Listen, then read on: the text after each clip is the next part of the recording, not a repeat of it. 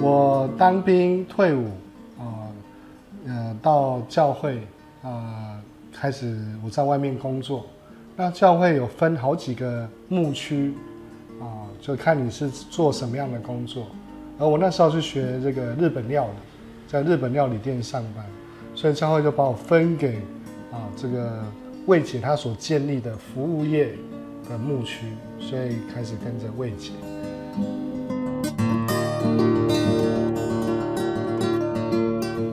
在教会里面，我们都鼓励弟兄姐妹聚会，呃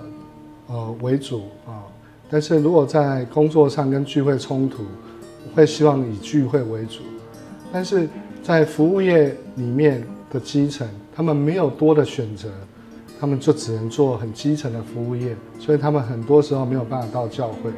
啊，因为牧师告诉他们，你们没有以聚会为主。那我们教会的做法是，到他们工作的附近就直接建立一个聚会，使他们下班就可以聚会。啊，那服务业的人就有一个啊聚会的地点，有一个认识上帝的地方。呃，服务业他们下班大部分是九点半到十点，我们聚会的时间是晚上十点，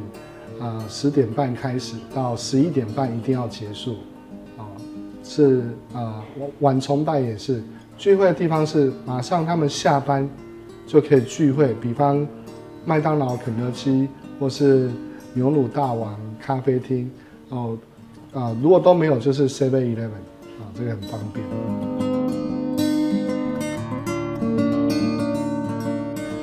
我想宣教士他们呃呃的特色是他们在啊传福音过程里面。有很多的没有保留自己，这个很影响我，哦，那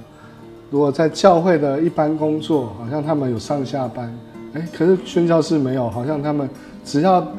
呃，有福音的需要，他们就愿意更做更多，这使我思思想，呃，这服侍，呃，这个观念是什么，啊，然后我也真的觉得宣教士在文化上。啊，因为不一样，然后他们要让跟当地人相处，所以他们变更谦卑，好像呃，使当地人感受到是他们是被接纳，是被接纳，而不是来教导我们，而是他们好像来向我们啊学习。